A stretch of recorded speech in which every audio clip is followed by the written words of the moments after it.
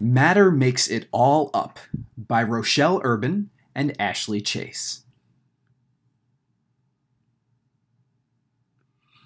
At first glance, an ecosystem may seem like a bunch of unrelated things that just happen to be in the same place. Different kinds of animals are running, swimming, or flying around. Plants are growing in various shapes and sizes. Besides all these living organisms, there are also non living parts in the ecosystem, like rocks, water, and air. How are these parts connected? For example, think of some parts in a Florida swamp ecosystem. What do a rock, a cypress tree, an alligator, and a heron really have in common? An ecologist is a scientist who studies ecosystems. To an ecologist, the parts of an ecosystem have something very important in common. In fact, you could say they are all the same deep down. All the parts of an ecosystem are made of matter. Matter makes up the air, water, soil, rocks, animals, plants, and everything else. Matter is made up of tiny atoms that are too small to see. There are many different kinds of atoms, and these atoms can combine to form a huge number of different kinds of molecules. Individually, atoms and molecules are too small to see. However, billions and trillions of atoms and molecules together can make up a rock, a tree, a bird, or even an alligator. The photo on the left shows a few organisms in an Everglades swamp ecosystem. What does it really mean to say that an animal is made of matter? If you could look inside the body of an alligator, you would see muscles, bones, blood, and different body systems. All of the parts of an alligator are made of matter. For example, let's zoom in on a muscle. The muscle is made up of smaller parts. Those parts are made up of even smaller parts, which are made up of molecules. Those molecules are made up of atoms. It's all matter. This is a close up of a muscle as seen through a microscope. Here is an even closer view of the matter that makes up a muscle. And this image shows a model of a molecule that makes up muscles. We can't really show what the molecules look like. The individual molecules are too small to see, even with a microscope. A full grown alligator may weigh 360 kilograms, or 800 pounds. That's a lot of matter. Where does it all come from? How does an alligator grow to be so big? Alligators and other animals never stop growing. Even an adult animal that has stopped getting bigger keeps growing new skin and blood. If an animal gets wounded or breaks a bone, its body can grow to repair the damaged parts all that new bone, muscle, blood, and skin doesn't just appear from nothing. Since an animal is made of matter, when it grows, it needs to add more matter to its bones, muscles, and other parts. That's how animals grow. Alligators are about 15 centimeters, 6 inches long, when they hatch, but they can grow to be about 4 meters or 13 feet long. The new matter needed for growth comes from what an animal eats. Food is also made of matter. When an animal eats food, it is eating billions and billions of atoms and molecules. These atoms and molecules are all matter that the animal uses to grow.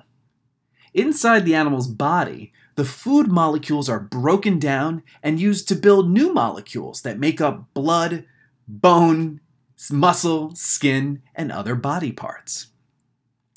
Not all the matter that an animal eats gets added to the animal's body. Some of the matter isn't used by the animal. This matter ends up as different kinds of waste, including droppings. More important, the animal uses some of the food matter to get energy. Animals need energy to move and do all of the things animals do. When an animal uses matter to get energy, that matter is changed and released as gases into the air. This alligator, this alligator is eating a bird it caught in the swamp. Not all of the matter from food ends up as part of an animal's body. Some of the matter becomes droppings, like the alligator droppings shown above. The animal also uses some of the matter to get energy, changing the matter and releasing it into the air. Ecologists think a lot about eating. Eating is one of the most important ways that matter moves through an ecosystem. All the animals in an ecosystem need to eat. Most of those animals are also eaten by some other animal. In order to understand an ecosystem, it's important to figure out what eats what. Figuring out what eats what can be difficult. An ecosystem may have countless organisms of many different kinds. All those different kinds of organisms interact in complicated ways. To find out what each kind of animal eats, scientists collect data. They observe animals in nature and record what the animals eat. If scientists find a dead animal, they may observe the inside of its stomach. That way, they can gather data about what the animal ate before it died. Scientists also look at data that other scientists have collected in the past. This bird is eating a fish it caught in the swamp. These ecologists are gathering data about tiny animals that live in a swamp. Ecologists need lots of data to figure out what eats what. Ecologists make diagrams to show what eats what in an ecosystem. Let's look at the example of an alligator again. Alligators often eat birds called great blue herons. Great blue herons often eat carp, a kind of fish. Carp often eat bladderwort, a kind of plant that grows in swamps. A diagram showing how these organisms interact is called a food chain. The arrows in a food chain diagram show how show the direction that matter moves through an ecosystem. When a carp eats a bladderwort plant, some of the matter from the plant gets turned into part of the body of the carp. When a heron eats the carp, some of the matter from that carp gets turned into part of the body of the heron. When an alligator eats the heron, some of the matter from that heron gets turned into the part of the body of the alligator the same matter that made up the bladderwort plant eventually ends up as part of the alligator's body. Where did the matter that makes up the bladderwort plant come from? Plants don't eat, but they do take in matter from the air and water. They use this matter to make their own food. Plants can use the food they make to build their bodies.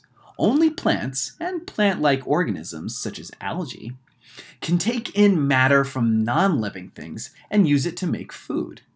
That's why you will find plants or algae at the beginning of almost every food chain. Everglades swamp food chain. American alligator, great blue heron, grass carp, bladderwort plant. A food chain helps trace the way matter moves through an ecosystem, but it doesn't give the whole picture. A food chain shows just one food for each animal, but most animals eat more than one kind of food. To understand an ecosystem better, ecologists combine many food chains together to make a food web. A food web shows that some animals eat more than one kind of food. It shows that some organisms are eaten by more than one kind of animal. Food webs show how lots of different food chains are connected. On the next page is a food web for the alligator's ecosystem. It shows that alligators don't just eat herons.